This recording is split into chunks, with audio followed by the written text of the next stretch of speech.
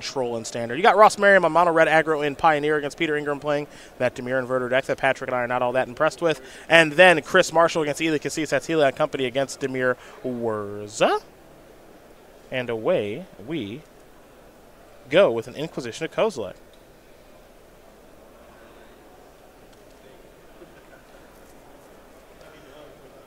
So, let's get a good look at this hand. We've got a Forest and a Horizon Canopy as lands, Birds of Paradise, Kitchen Finks, Giver of Runes, Heliod, Sun Crown, and a Ranger Captain. I want to make sure I get that right. It's tricky sometimes. Where is that deck list? Chris Marshall. Ranger. Okay, yeah, Ranger Captain of Eos. I had it right. You had it. I had it. I remember the Knight Captain of Eos. That's the five mana version. Mm-hmm. Birds of Paradise head to the graveyard.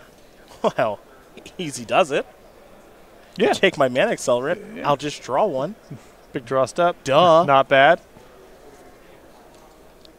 Marshall with a little rolling of the sleeves there. It's time to get the hands dirty. Arcum's Astrolabe. Draw a card.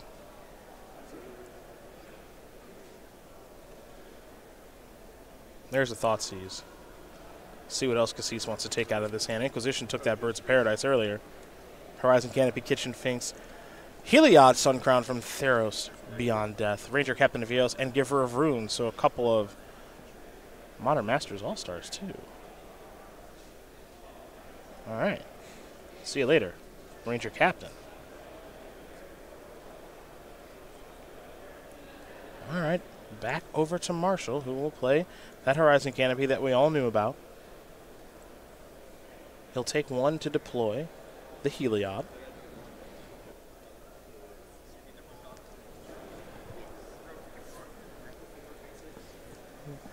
And there is Heliod Sun Crowned. Three mana, five five, indestructible, like all the gods are. As long as your devotion to white is less than five, Heliod is not a creature. Whenever you gain life, put a plus one plus one counter on target creature and enchantment you control, and you can grant another target creature lifelink for the small cost of a colorless and a white mana. As Eli Kassis is going to sacrifice a polluted delta. So the combo is Mm-hmm. That you give a walking ballista lifelink, Mm-hmm. and then you sacrifice a to you know sacrifice a counter to deal damage that causes the plus one plus one counter to trigger, and you can do that infinite times. May I borrow this Noble Hierarch? Thank you very much. Archmage Charm going to take that. So now we're heading back over to Marshall. He's going to need to draw a land here to be able to play another three mana spell. He wanted to take a moment and get Heliod onto the battlefield. Now, another thing you can do here is this combination with Spike Feeders Infinite Life. Yes, So that's that's fun. He could gain Infinite Life right now. he's got the feeder. if he's got the feeder. Bang, bang, bang, bang. However, either Kassis is playing a deck that can generate infinite 1 1 Thopter tokens, so infinite life is No not going to get the job done. No good here. There you go. There's Kitchen Finks. Thinking beatdowns, huh? Eh? Yeah. Your good buddy, K Finks. Yeah.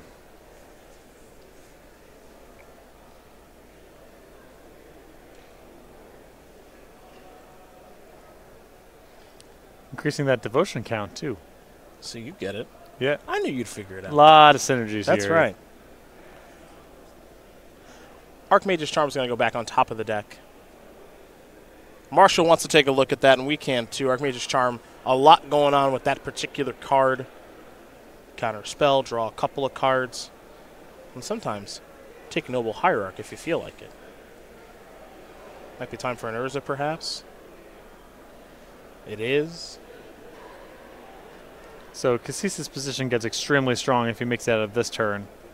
From that point, he has a hard counterspell and just a major presence on the battlefield. Kassis Um, is going to draw a card. He's going to pick up that copy of Archmage's Charm. He's actually already rolled up here because now the Urza turns everything into Mox Sapphires, and so he has his three blue mana. He does. The construct is one, the astrolabe is two, and the Nihil Spellbomb is three to be able to cast an Archmage's Charm. Shout out to Mystic Sanctuary for helping along with that. This is a Noble Hierarch. That is a giver of runes.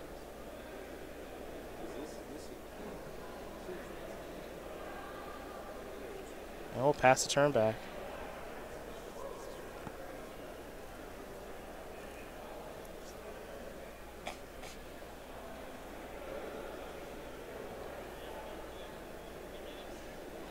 Gonna tap some mana here.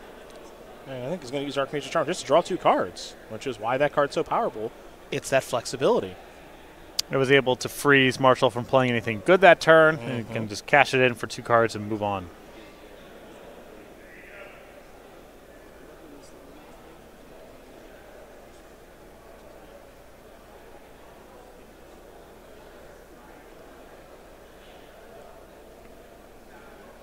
Well, there's another Mystic Sanctuary off of fetch land. That one's uh, pretty. Uh, it's uh, The the combination of the opportunity cost Yeah. and its flexibility and power makes it quite strong. hey, play design guy, Thank you. you better fix that. Well, What I you guess want you me- can't. What you want me- what you want me to guess fix? you can't fix it. What you want me? To, what are you suggesting I do? I don't here? want any more Mystic Sanctuaries coming out of the pipeline here. You got to narrow down what you mean by a mystic sanctuary. That type of card. Type is still vague. Look, I don't know what I'm trying to say, but I feel like I'm trying to say something. Not. I mean, you are trying. I'm gonna. I get to start blaming you for things. Oh, Whir of Invention. Not the best reveal. Let's see.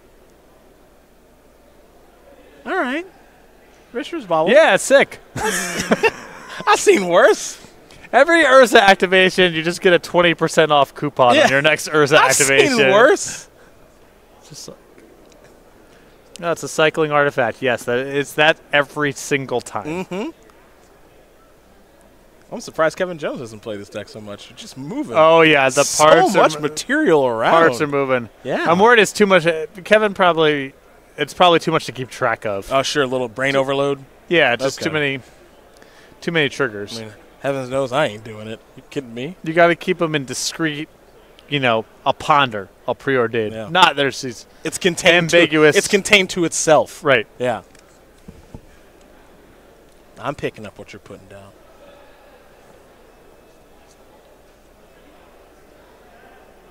I don't know about Kitchen Finks, show. It does a little bit of everything, man. We already went over it. Double white, This guy. double white.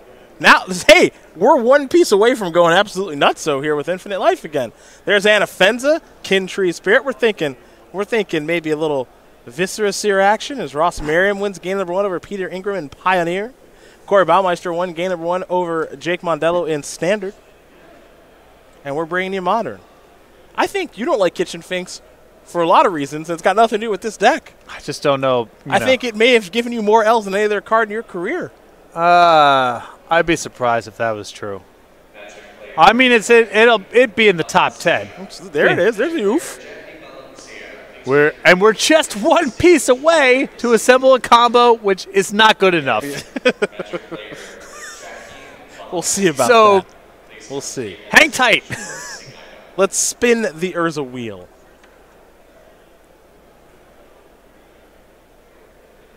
Haley Casillas, we can't forget a former Coupon coming. A former inv- Yep, another is. coupon. Yep.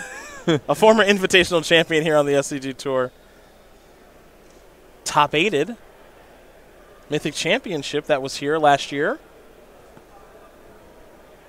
He's a player. Formerly, you know, originally we found out about him through his legacy play. Yes. Turns out he can play all the formats very well. Yeah, I don't know about that whole notion of you know format specialist. Yeah, not uh, not for him. I think Magic's just Magic. I think I think Magic Specialist Yeah, is what he may be. generalist. Yeah. That is a field of ruin. And Kassis will pass the turn back over to Marshall. And he'll draw a card. Did Kassis remember his Bauble trigger? That's a great question. I see the die there, yeah. but I think he may have forgotten.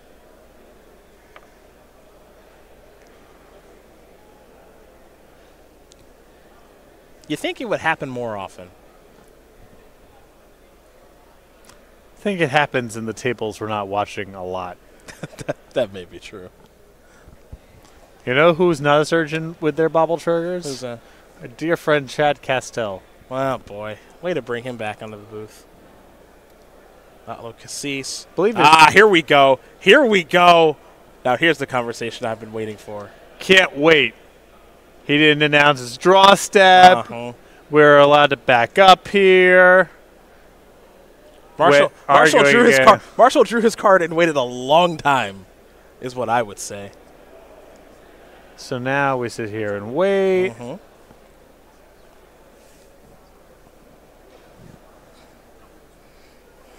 I'm telling you, I'm surprised this doesn't happen more because I would forget all the time. I, I would have what what um, Ben Friedman made. Ben Friedman made a big big sheet of paper that he used to put on top of his deck to remember he was playing Death Shadow. I would do something like that in order for me to remember. Back in my Sprier days, I wouldn't forget, but No. nowadays I'm I'm old. I turn 34 next month. I'm a steel trap with my triggers. I was. Because you you know, now at this point I have the space in my brain to either keep track of my triggers or play a sharp game. Not both. sure, sure. It'd be asking too much Is it, for you you to do pick both. one or the Yeah. other. I understand. I and understand. uh, the failing with the triggers is actually more embarrassing. well, you know what we're gonna do? What's up? I think we might. We well, you know what? Let's sell some people some stuff. Talk to You ready? me. Yeah. How's how's SCG Premium sound, bud? Yeah, let's talk about it. We want to get out the satchel. We'll start here. We'll start with Sheldon, Jerry, Emma, and PVDDR, who top aided um, PT Brussels because, of course, he did. Yeah, it's like 18th or whatever. Yeah. Get all that content and much more by becoming a member of Oh! Star Games Premium. Oh, Yeah. hello. Yep. Get a good look at him. They also did this. Sure may I, may I ask yeah. who was responsible for the background art? Why am I at the bottom of an aquarium? You're not at the bottom. That's a that's a satchel card. There's a satchel in Magic.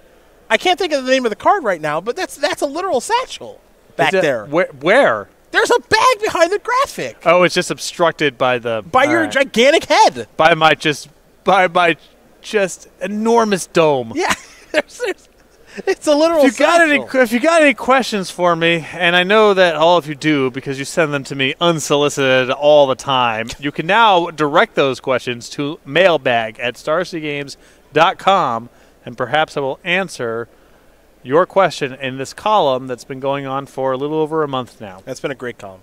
Great Been a column. great column. There you go. Other stuff. Yeah. This is, this is your highlight right here. Hey bums, listen up.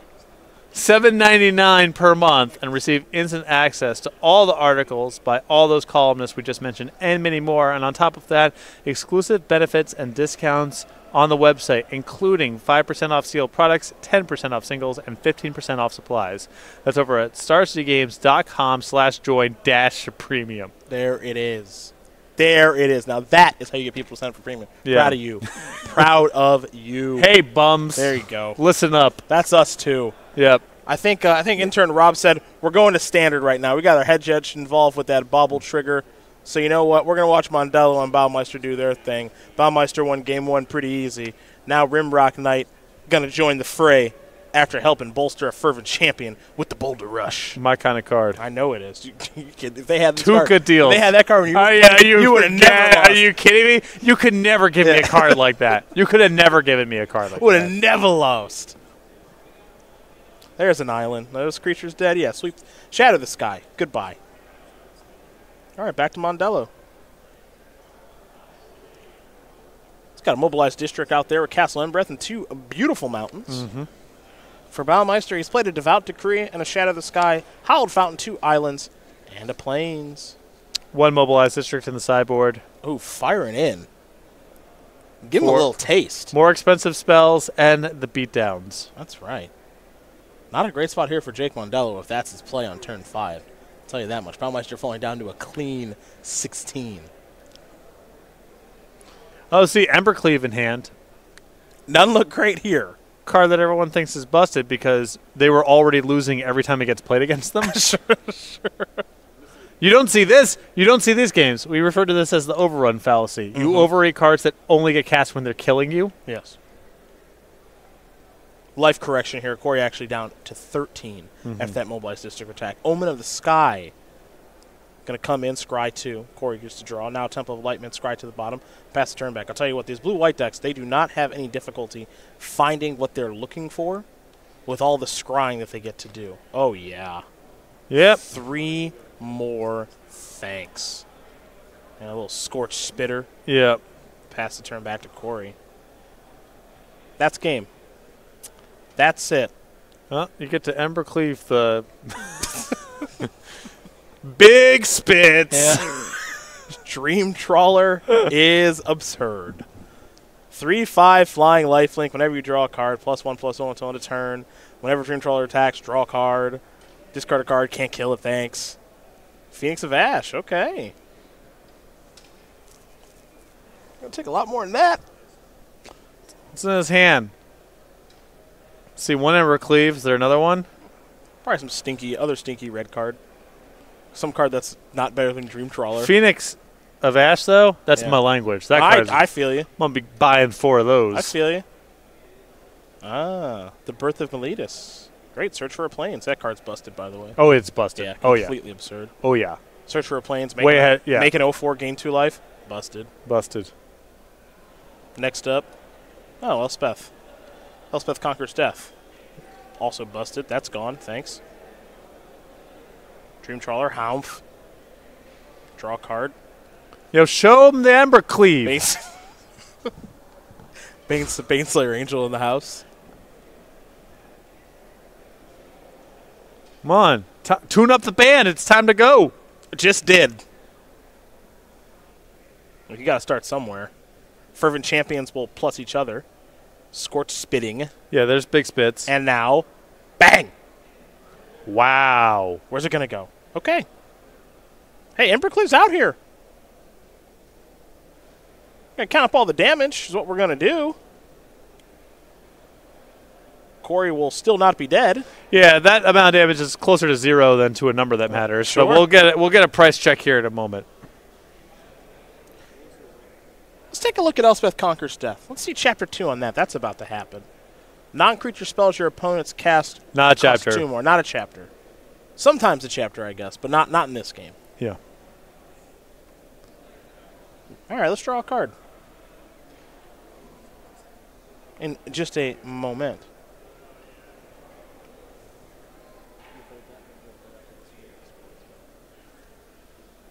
We got no oh for a wall now. Corey's at five. A little low. Looks like Peter Ingram to tie things up against Ross Merriam. Dimir Inverter and Mono Red Agro are going to go to game three. We're going to be jumping that way in just a moment. We're going to watch this one unfold, in which Corey Baumeister feels as though he is at an advantageous position. But it's not a runaway. No. No, I mean you could still slip up from here, Mm-hmm. but his position is very strong. You got to like attacking with Dream Trawler, though. Get to draw a card. Looks like he gets to gain five life. The follow up, he's tapping a bunch of mana already. He's going to slow himself down just a little bit. Is number two on our SCG Tour Player of the Year leaderboard. It's early in the year, but for this member of Team BCW, he's off to a great start because there's another copy of Elspeth Conquers Death, taking care of the Ember Cleave. Don't forget that Corey does have an 0-4 wall back there as well, due to the birth of Meletis.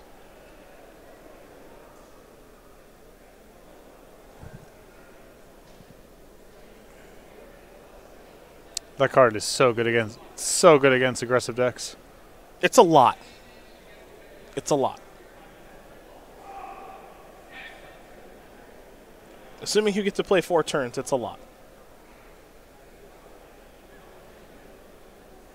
We got Eli Kassis up a game here against Chris Marshall.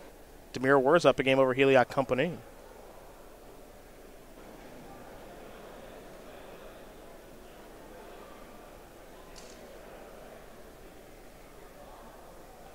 And now we're going to see exactly how Mondello wants to move forward here.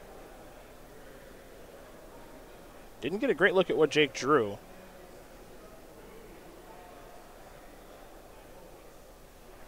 But it looks like he feels like he might be able to get back into this one.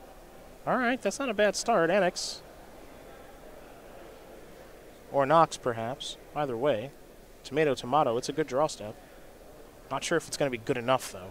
I had a funny conversation. Someone being like, I think the annex is really good. And I'm like, you mean the control magic of land? and they're like, no, this is a Zach Allen. Aether Gust is going to target Fervent Champion. Beatdowns. 04 is going to do some blocking, of course. Scorch Spitter is going to get a little ting ting in. And Corey's going to quickly untap. He'll draw. That'll trigger Dream Trawler. Elspeth will conquer death. So we're going to see Corey return target creature or planeswalker card from his own graveyard. Put a plus one plus one counter on a loyal or a loyalty counter on it if he has something to return. Looks like he does not. So he'll just attack and do his thing with Dream Trawler. He also got to gain two life from the Birth of Meletis as well. Boy. What is this about to be? Oh, another one. Oh, that's fun. Me, oh my. Mm-hmm. Glass casket. I'll target that. Well, Dream Trawler is a crackerjack of a. oh no! no! Corey, ever, ever the sportsman, Jake, Jake, not interested in a handshake. We've had a lot of really funny handshakes. Today. We today. have. a lot of lot of pump fakes, a little uh, a little inside out dribble, a little top Yeah. and bottom. You know the sports that are not top ten. We got to start doing that for this. Corey extends. Ah, no, sir. I think it might be because Jake is sick. He's cleaning his hands. He just sanitized his hands. I think that's actually totally fine. Then it looked bad. just It was a tough look in the moment. My my if I if I may, I would like to request us coming up with a best of SCG live just bad handshakes. Bad handshakes and bad handshake happy, etiquette. happy to do it. Let's go back in the archives. I can easily Oh, yeah, they're talking about. It. There we go. Yeah. The, the game, who really cares? The handshake, though, they're going to be thinking about that one for a while. Mm-hmm. Baumeister's team looking to move up to eight and one. He's on the board for his squad. Eli Kassis up a game right now over Chris Marshall. Don't forget too, this team here, this uh, this Baumeister fellow, he top eight at uh, excuse me, he top four at SCG Columbus too. So no stranger.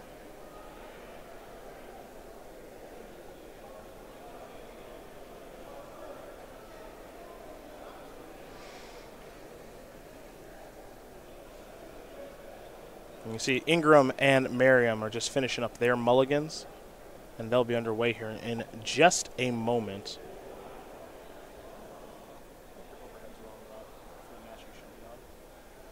Nope, you're, you're good. Sorry.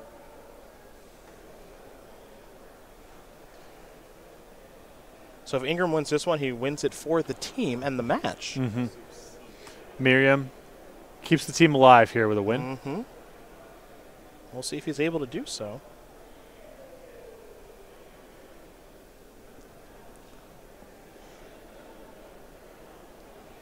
Ross giving it a long look over.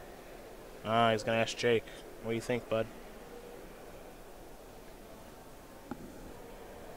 Hand appears to be good enough to keep, just not sure what card to put to the bottom. All right, Jake's gonna help out there. Looks like two cards might be going to the bottom here for Ross. All right, it's a Mutavault. Pass it.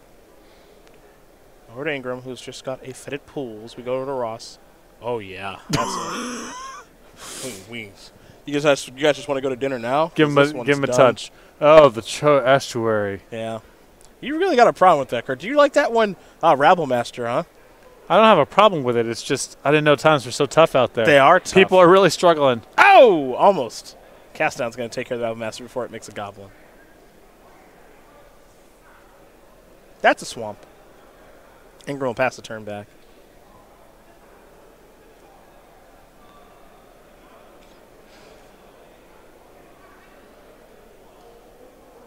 I like firing up Mutavault on two. Your draw is what it is. That's right.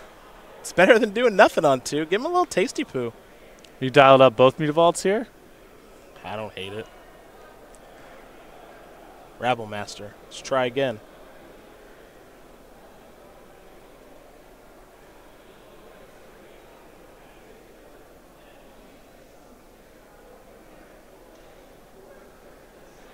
Ingram has a response. It's going to be an Omen of the Sea. Scry 2. Thassa's Oracle among those cards. Ross might be reaching for the Goblin token. He's begging to make a Goblin token. It's looking promising.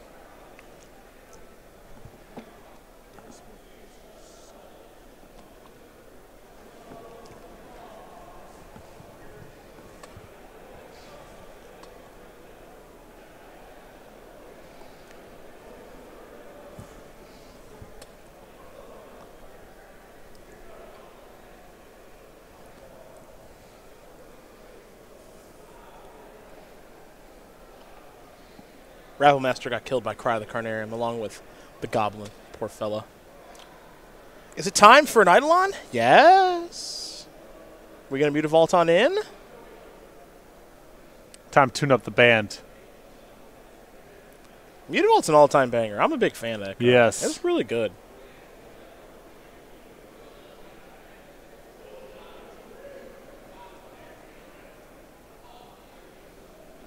Merriam waiting for Ingram to respond in kind. Yeah, let's let's get a little chit chat going with Corey B. Opt-in response. All right. Interesting that Ingram's going to do that when he has a fatal push in hand. Going to take two right now from the Mutavault. But a conscious decision as we head back over to Peter.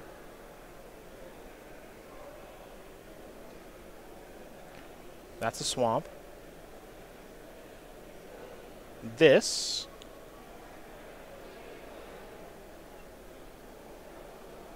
is a Legion's End. The hand Yeah. left over is Goblin Heel Cutter and Bomat Courier. So if you want to uh, fatal push the Mutavault because Legion's End can't touch Mutavault, Yep. that would be the reason to sequence it the way that Ingram did. Okay. Goblin Heel Cutter, the old Goblin Berserker that we don't see much of, but it's got dash, and dash is pretty important. Two in a red. You can play it for its dash cost. If you do it gains haste, and it comes back into your hand at the end of the turn. A really fun dash design. I like that card a lot. Yep. Guess what? It's time to go. Time, time to dash. There's Bobo. There's Heel Cutter. Uh, gonna target Thassa's Oracle. Bomat Courier. Would like to put a card underneath it, and now Ingram is going to consult the squad once again.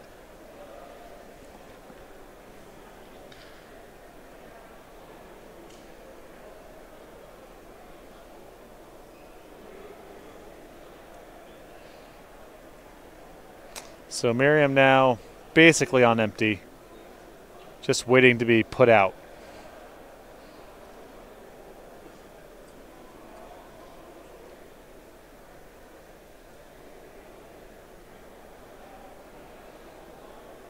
Just gonna get. I suspect that Merriam's just gonna get beaten to death by this thing, even if the combo doesn't take he's, off. he's getting inverted right now, that's Yeah. for sure.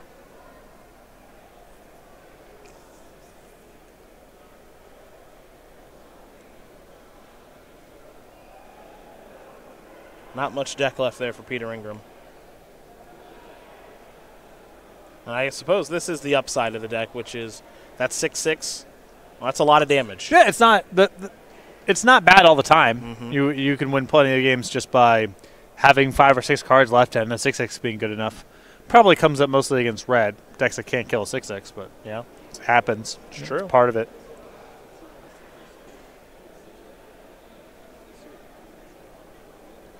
We're going back over to Kassis. Excuse me, to Ingram. Pardon me. How's six sound? Hmm. Peter says no. Mm. Ruined. Ingram falls down to eights. Merriam will draw. Now, Merriam does, it appear, have a copy of Stoke the Flames in hand. Might be on the burnout strategy now, as opposed to doing any attacking whatsoever. I mean the the waiting game here is fairly good for Ingram. You think so? the, I mean, the pressure's on Ross to do something.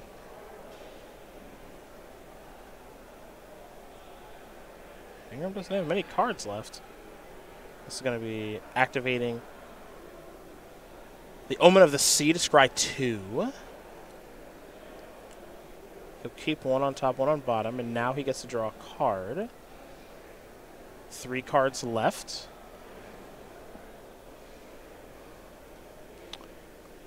He gave up an attack last turn. I suspect that his plan here is to try to just set up a combo. He's not really aspiring to beat down. I think Casting I an op now takes it off the table too. He just doesn't have enough cards left in his library. Mm-hmm. Well, he does have Jace in hand, the wielder of mysteries. So he's Mhm. setting up the he's setting up the one with that card, and making sure he doesn't get himself killed.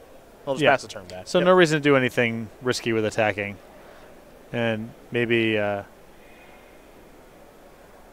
Merriam Hill will overvalue the enabler for the combo kill here. and Use a removal spell on that rather than trying to burn out Ingram, which is good for him because he has a backup piece in that Jace to be able to combo out.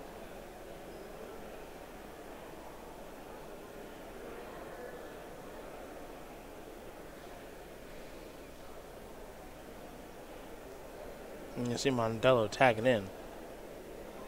Give Ross a little bit of help here.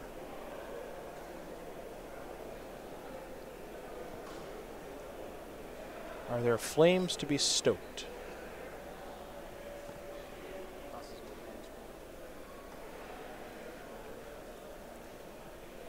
There you do see Thassa's Oracle. Enters the battlefield. Look at the top X cards of your library, where X is your devotion of blue.